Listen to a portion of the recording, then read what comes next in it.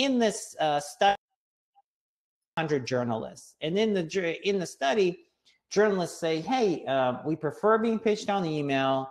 and we prefer to actually collaborate on an asset or a piece of content rather than get a finished version of a pitch or whatever they say 64 said personal connection with an outreach specialist um, mm-hmm. you know more important uh, prefer to be pitched in the morning uh, publishers would rather collaborate on assets so this is like just telling us and this is journalists voicing their opinion saying hey be personalized pitch me something which we can work together on we love mm-hmm. data you know, like, uh, and, you know, like, there's just a lot of stuff coming at us. There's more insights in this whole uh, study, which is actually pretty cool. Uh, but mm-hmm. I would really kind of yeah. go back to the data and just say, all right, prefer, you know, and how, like, what do they actually write about? Uh, and most of them need data and insights and they want the personal connection.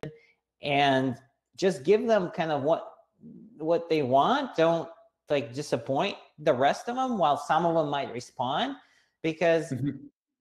you do that then everyone else would do that and i say i think like it's just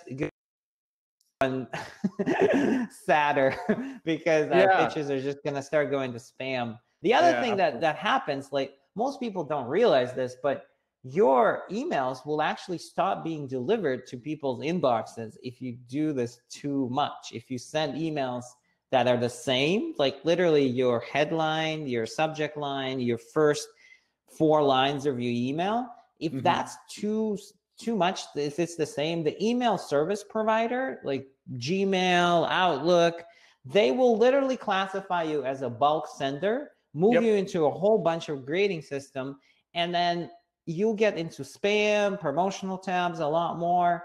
Um, you you'll have a lot more issues and problems. Yeah.